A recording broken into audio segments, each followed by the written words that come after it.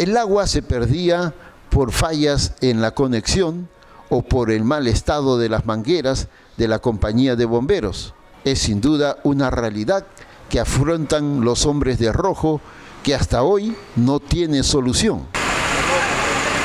Esa es la realidad de los bomberos, realmente, esa es la realidad de los bomberos. No podemos pedirle muchas cosas porque esta es la realidad. ¿Qué pueden hacer ellos ante una falta de ayuda de parte de nuestras autoridades para poder solucionar este problema? Yo pienso que esas mangueras tampoco no son adecuadas como para, un incendio, son delgadísimas. ¿no? Pero se tienen que, como dices, se las tienen que generar. Mira cómo sale el agua también ahí, Ramírez. Vamos a ver, vamos a ubicarnos bien porque van a jalar las mangueras hacia, hacia adentro para poder, ahí están tratando de ajustar.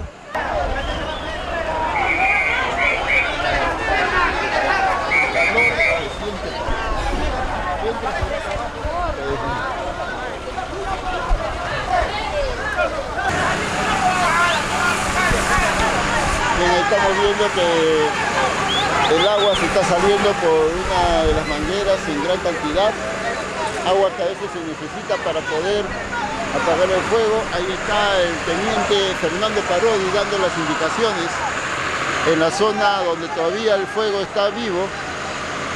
Vamos a ver, nos están pidiendo, están pidiendo que, están pidiendo que las personas salgan fuera de este lugar, cuidado.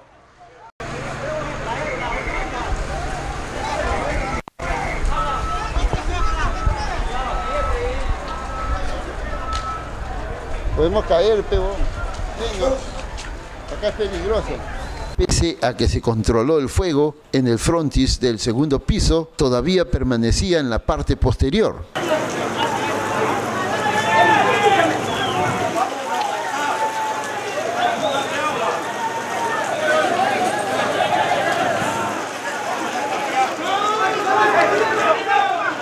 Cientos de personas seguían observando, mientras que algunos con su celular tomaban fotos de lo que sucedía.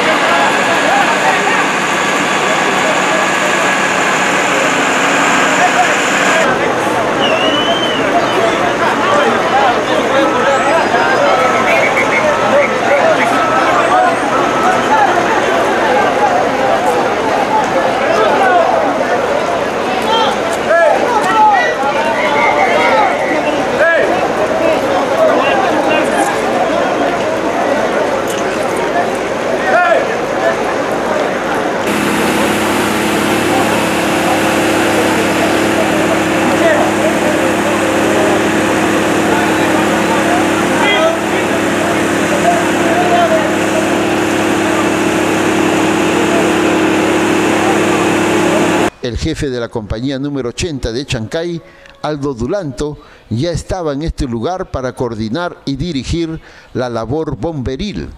Aldo, unos momentos, Aldo. ¿Está controlado ya todo? la situación? Está controlado, pero no está extinguido. Todavía falta verificar los puntos que tengan. verificar, verificar la existencia de, de brasas o recodos donde todavía pueda volver a encenderse. Estamos viendo la estructura si está a punto de colapsar o no. Por eso es que es peligroso que no se acerque nadie.